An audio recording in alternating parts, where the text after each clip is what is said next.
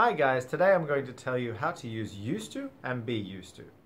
Used to is used when you're talking about something that was true in the past but not true now.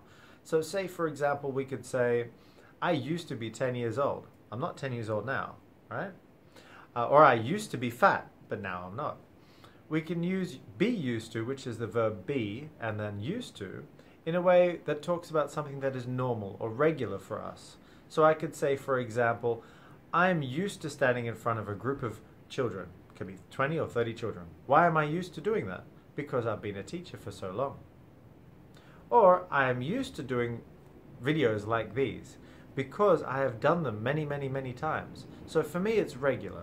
So whenever you're talking about something that is regular, that you're used to, you can say, I am used to it, or they are used to it, or he or she or it is used to it. But when you're talking about something that happened in the past but not now, you just say used to.